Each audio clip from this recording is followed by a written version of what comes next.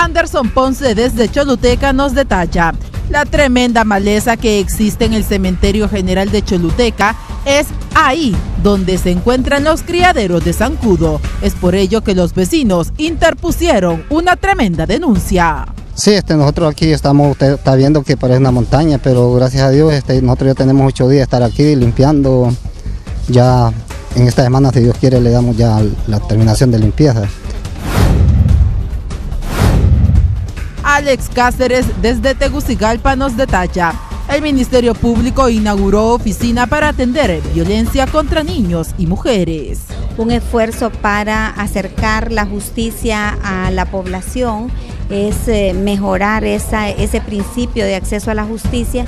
Es una oficina donde habrán representantes de diferentes instituciones.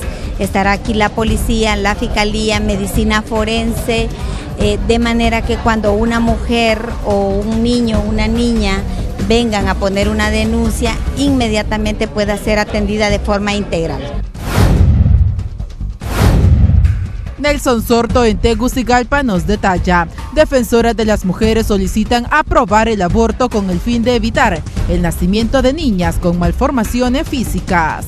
En realidad nosotros venimos planteando que dentro de la campaña eh, de prevención del Zika, en primer lugar, lo que está haciendo ya la Secretaría de Salud, que es eh, campañas de limpieza para eliminar el vector, nosotras también aconsejamos todo el acompañamiento para la prevención de embarazos, aunque digan que esa es una decisión de pareja, pues creo que el Estado le compete a través de políticas públicas establecer también todos los mecanismos y todos los recursos para que las personas, las mujeres, y sus parejas puedan tomar una decisión acertada.